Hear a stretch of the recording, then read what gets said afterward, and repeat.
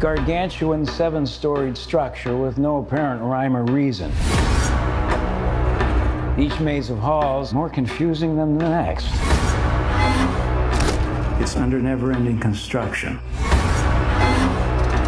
It was built on the orders of a grieving widow.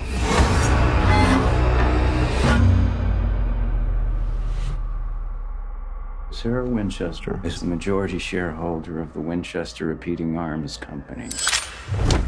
You want to take it away from her? We're worried about her sanity, Dr. Price. Do you believe in ghosts, Doctor? I do not believe in anything I cannot see or study.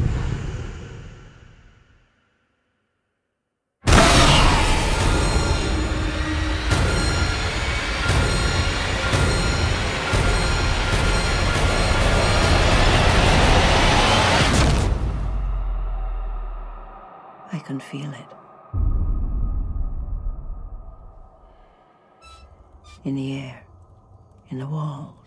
This spirit has a power we've not seen before. It has found us.